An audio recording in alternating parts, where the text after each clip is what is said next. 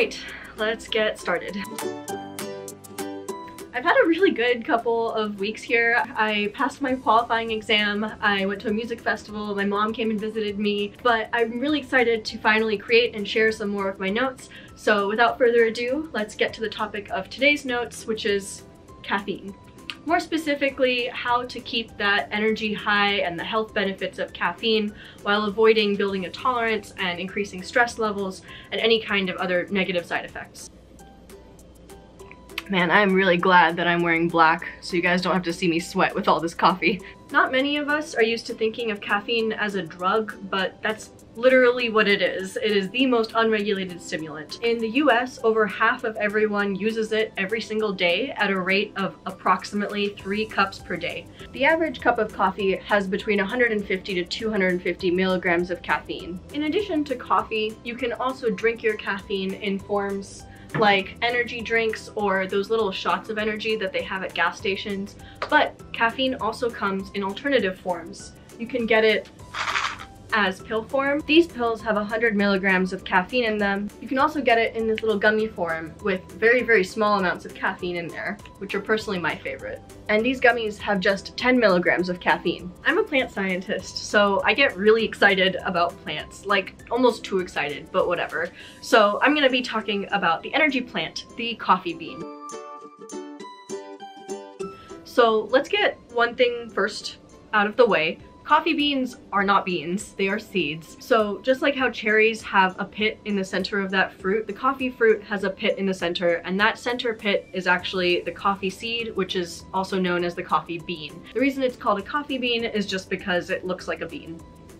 In its normal form, coffee honestly tastes disgusting. It's really, really bitter. To avoid this bitterness problem, a lot of companies will just use synthetic caffeine instead of the caffeine that is derived from green coffee beans. But as I will talk a little bit more about later, caffeine is just one of over a thousand compounds in green coffee beans, so there's a lot more going on, and if you're just having synthetic caffeine, you might not get the same feeling as when you're drinking coffee. So when you're awake and you go about your life, you kind of get drowsy the longer you're awake.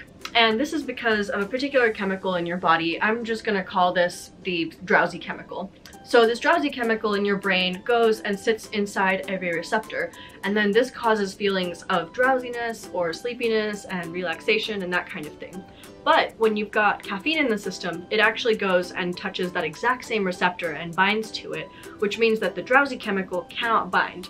And so this helps promote all sorts of stimulation and energy for your entire body.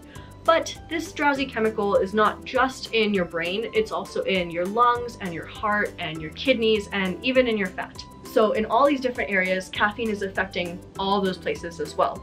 So for example, in your heart, caffeine can increase your beats per minute. It can help you with fat burning.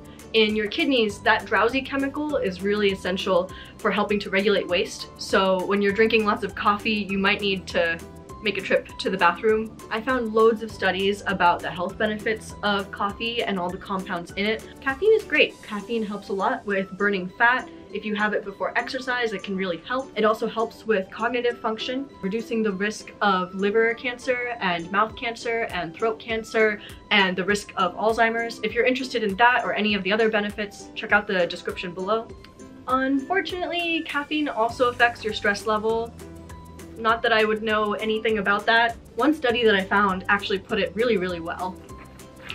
Caffeine users who are under stress or people who use caffeine more during stressful periods to work more effectively may experience more of the effects that stress produces. So caffeine and stress together create a greater stress response in the body than either of these factors does by itself. One more thing that's important to note, as a lot of heavy coffee users will know already, is that you can build a tolerance to caffeine.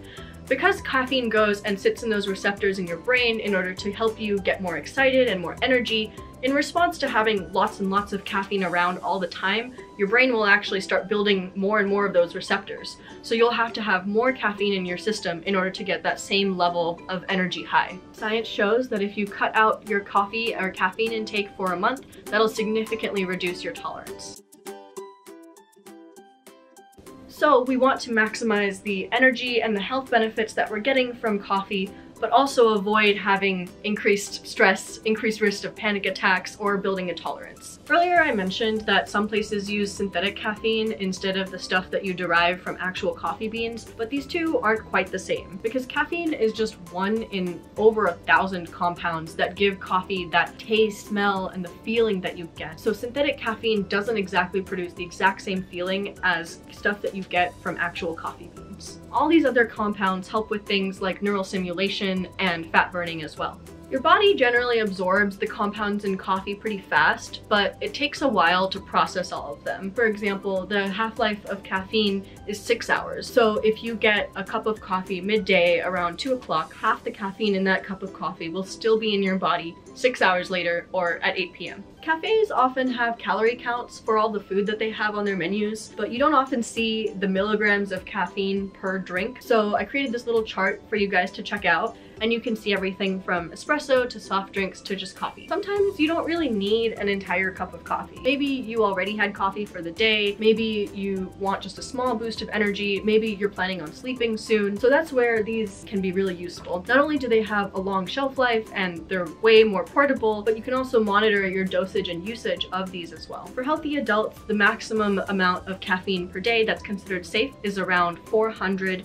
milligrams. For people who are pregnant or breastfeeding, that maximum is 200 milligrams. For people who have any kind of cardiovascular issue or disease, I generally found that it was really recommended to limit the intake of caffeine, but please talk to your doctor about any kind of issue like that.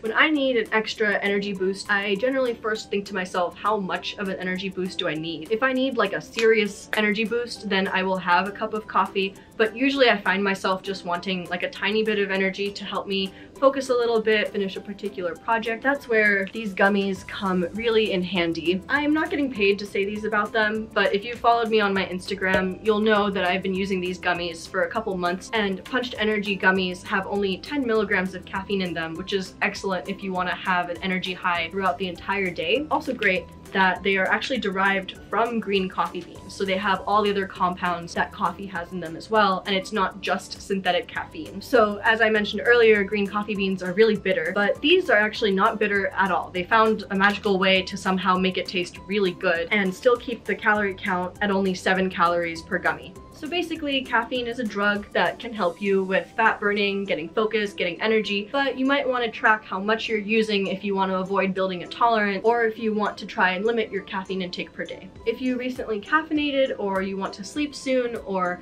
you just want like a small boost of energy, it might be helpful to consider some alternate forms of caffeine like tea, pills, or even these gummies right here. Punched gummies are personally my favorite, especially because they are currently the smallest amount of caffeine on the market right now. So whether you're having coffee or tea or pills or gummies or whatever the heck else, I hope you think of this video the next time that you're getting caffeinated.